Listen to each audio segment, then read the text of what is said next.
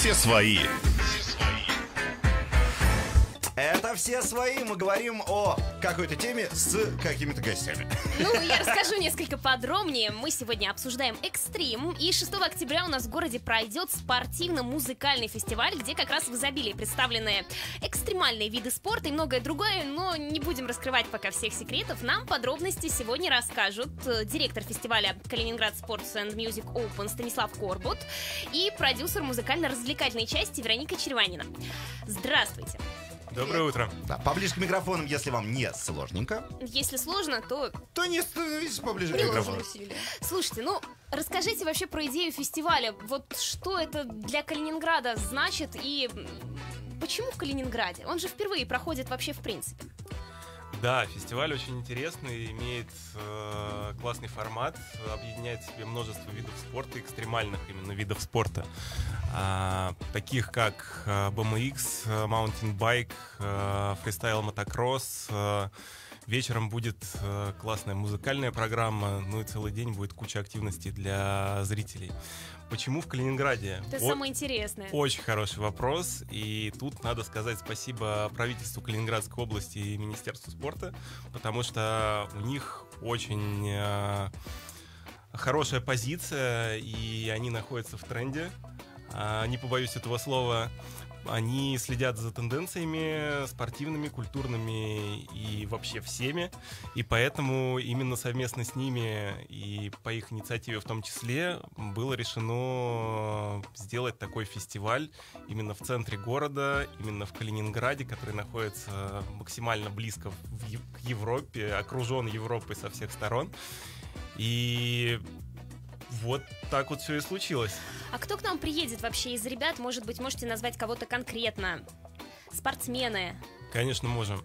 А, к нам приедет, на самом деле, очень сильный состав спортсменов. А, в дисциплине BMX и Mountain Bike у нас будут достаточно серьезные соревнования, на которые приедут весь а, топ российских спортсменов. Из ключевых фигур это Павел Алехин, еще его знают как Вишневый, он катается на маунтинбайке. Ирек Розаев, это BMX rider. А, Например, еще Саша Никулин есть, э, он тоже на BMX катается. Из э, таких уже... Ну, то есть это топы. это top of the top. Вероника, что, Начальники, что у нас с музыкальной частью? Что у нас будет такого интересного? Вечером у нас будет концерт Федука. Почему такой выбор исполнителя? Сейчас Федук очень э, популярный исполнитель, он занимает лидирующие позиции во многих чартах, и все знают его песни, и мне кажется, это прям то, что нужно для Калининграда. А что вообще удастся посмотреть вот простым калининградцам, которые, например, придут на фестиваль с детьми? Ну вот э, во сколько нужно прийти, чтобы ничего не пропустить?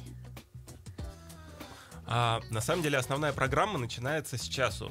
До часу будет еще раскатка и то, что не так интересно всем а, зрителям. А в час у нас состоится открытие фестиваля, и после этого первый блок FMX-шоу, которое супер зрелищное, супер классное, и всем будет интересно на это посмотреть. После этого у нас пройдут до 6 часов э, финалы во всех дисциплинах. Это, как я говорил, BMX, Mountain Bike, это скейтборд, это еще два блока FMX, а, куча всяких активностей для зрителей. Ну и те, кто хочет поучиться, будут лектории организованы на три разные Вот темы. это интересно, Да. нужно поговорить подробнее, потому что У меня просто назрели да, вопросы, меня я вас Роман хочет перебить, но давай. Хочу, перебью. Давай, я, я, перебивай. возвращаясь к тем темам, где человек как обыватель, это вы у нас люди все спортивные, опытные, знающие. А я вот с точки зрения совершенно простого спрашиваю. Вы говорите, приедут именитые спортсмены. А во сколько лет можно стать именитым спортсменом в, этом, в этих видах спорта? Потому что они же как бы, ну такие, тут на пенсию рано выходят. Ну, да, правильно же я понимаю? Конечно. Сколько лет этим ребятам?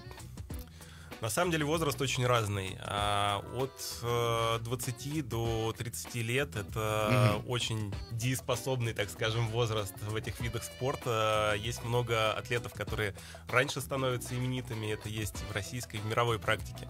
Есть кто и позже Вот, занимается... вот про таких, они у нас в стране есть, вот, ну там, 40-летний мужчина, у нас будет на BMX прыгать в городе? Вообще 40 лет. дисциплины это очень э, не- не- недавние, то есть это прям молодые виды спорта, пенсионеров пока еще нету. То есть мы их увидим там через 20 лет. Хорошо, это первый вопрос. Второй вопрос. Вы же приехали в Калининград. Вы же при... У нас вчера штормовое предупреждение было. Это, Конечно, тьфу -тьфу -тьфу. Мы почувствовали в самолете. Да, к- конечно, вот не, не дай бог, но все же. Отметьте соревнование, если будет дождь. То есть это же для спорта, ну, никак, э, потому что скользкая поверхность. И- или, или мы все равно... Ну, скажем как так, если будет дождь, на что это повлияет? Да, да, да, вот так. А на самом деле на нас влияет даже больше не дождь, а ветер. Потому что ветер... Вы же спортсмены-то молодые, легенькие, их же, их же Сдувает, сдувает. Да, потому что их действительно сдувает. Поэтому наш основной враг не дождь, а ветер. С дождем мы справимся, с ветром тоже справимся. Если не будет урагана, то все будет классно. Мы придем широкими своими спинами, закроем этот ветер от спортсменов. Это все понятно. Все, я задал свои Да, вопросы. я хочу к Веронике обратиться по поводу лектория, да? Да. Расскажите. А, У нас будет организован лекторий. Мы решили осветить три большие темы, посвященные трем разным дисциплинам.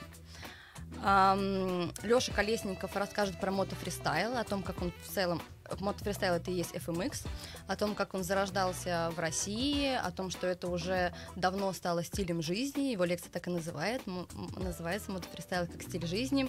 Паша Алехин, э, он же Вишневый, расскажет про маунтинбайк, о том, как эм, реабилитироваться после травмы и психологически, и физически. Вот как раз Паша сейчас эм, пережил серьезную травму локтя, будет выступать. В общем, собственно, это очень актуальная тема.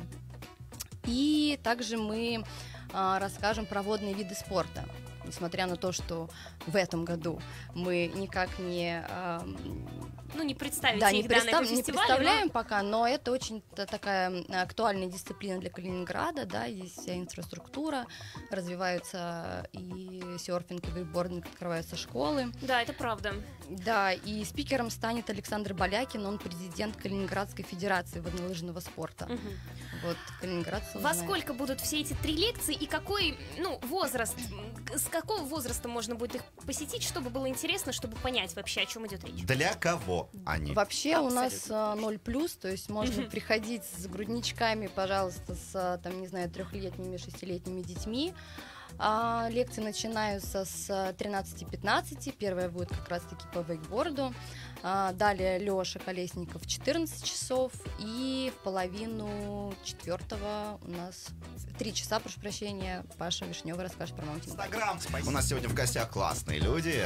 Да, Станислав Корбут и Вероника Череванина. Мы обсуждаем спортивно-музыкальный фестиваль, который пройдет в Калининграде уже вот в эту субботу, 6 октября.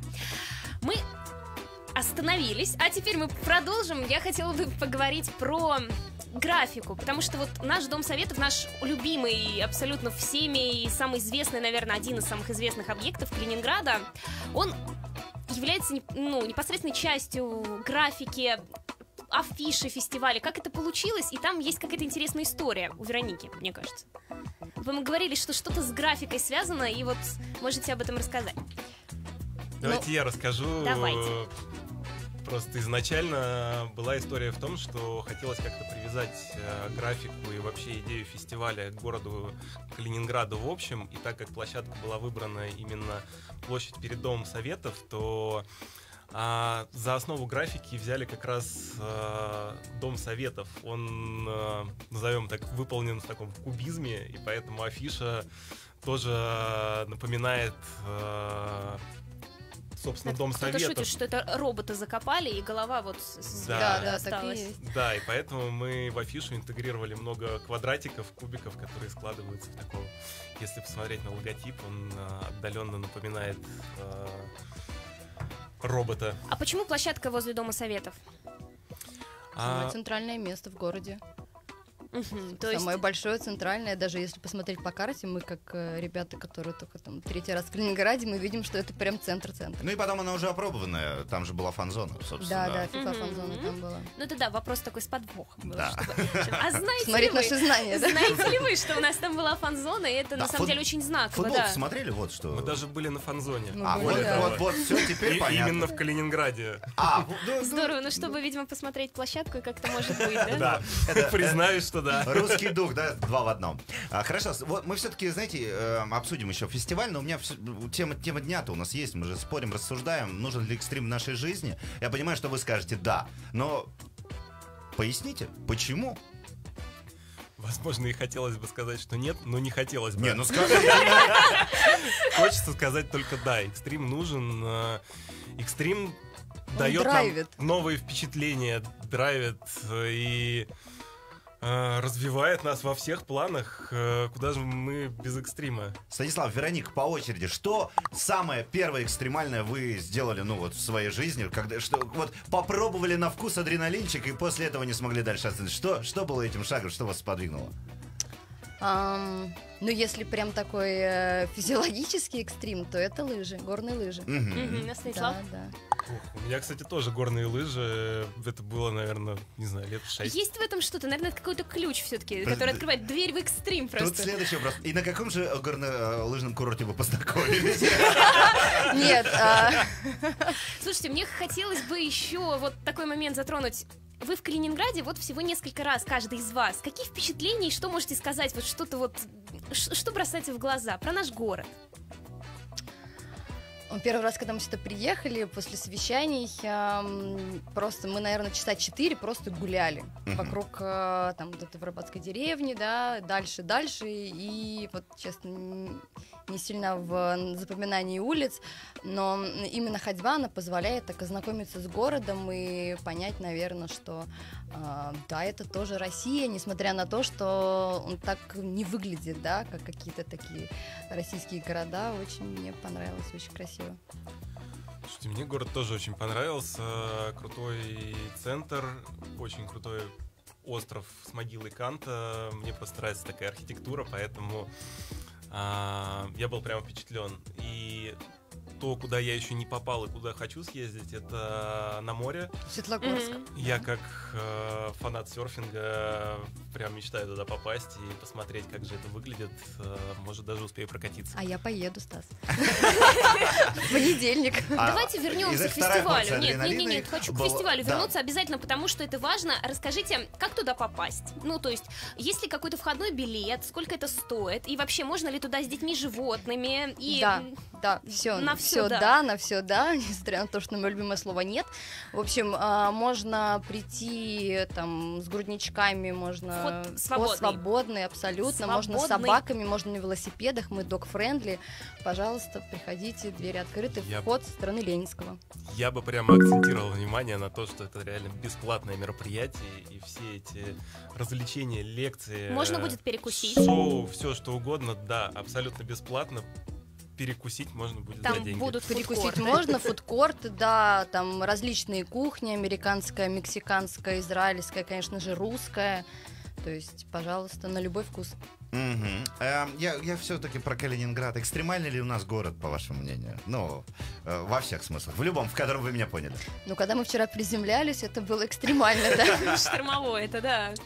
И еще, я такой любитель, я, в принципе, ну, не спортсмен, ну, по мне видно. А, я про то, что поушать-то будет там что-нибудь? Ну, вот я только что спросил, фудкорты. Ш- да, а Поставят всё. фудкорты. Мне пишут здесь Такие вопросы. я- специальные Да, палатки, покушать в будет, которых всё будет. продается еда, да. Нам, Так любителям сказать, поесть... хлеба и зрелищ. Да, да, да, да, вот так, все в порядке, так еда есть. То есть что на протяжении смотреть всего дня будут работать. Да, м, вот э, можно, в принципе, зайти на площадь в, в 11 часов утра, у нас вход открыт, несмотря на то, что в 13 начинается уже основная э, программа, и выйти в 8 часов вечера, пожалуйста. Что Счастливым, хотите, то и делайте. А, возвращаясь к вопросу графики, м, мы также приглашаем местных граффити-художников, которые разрисуют четыре стены. Мгм. А, тематика это, соответственно, четыре основные дисциплины: это маунтинбайк, мотофристайл, скейт и BMX. А, вот мы хотим как-то вот этот андеграунд, который уже выходит из тени, да, э, органично вплести в наш экстремальный фестиваль. Вытащить на солнечный свет. Да. Да. А, скажите, вам э, дается сейчас, собственно, 30 секунд, мы молчим с Надеждой. Все, что хотите калининградцам, привет, доброе утро, еще раз приглашайте что-нибудь доброе, признайтесь нам в любви, нам это всегда приятно.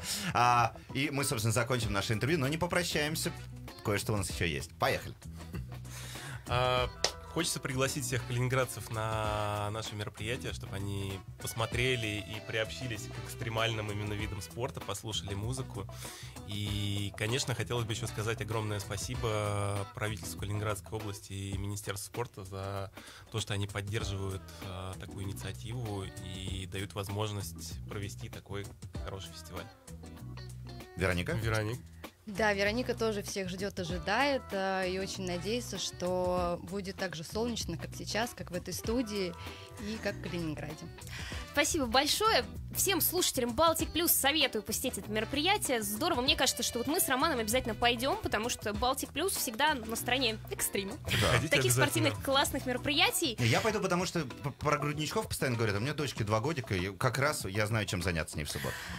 Ну, это здорово. Слушайте, спасибо большое. Напоминаю, что у нас в гостях сегодня директор фестиваля Калининград Sports and Music Open Станислав Корбут и продюсер музыкально-развлекательной части Вероника Череванина. Спасибо, приходите к нам, когда Но- у вас будет такая возможность. Мы их не отпускаем, потому что нам еще игрушечку надо провести, билетик разыграть. Да, но По- отпускаем меня. Да, тебя отпускаем. Сейчас Ладно, спасибо. Спасибо. спасибо немного рекламы, и мы двигаемся дальше. Все свои. Все свои.